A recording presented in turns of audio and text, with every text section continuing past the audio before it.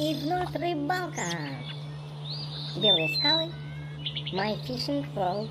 Часть четвертая. Приветствую меня на канале.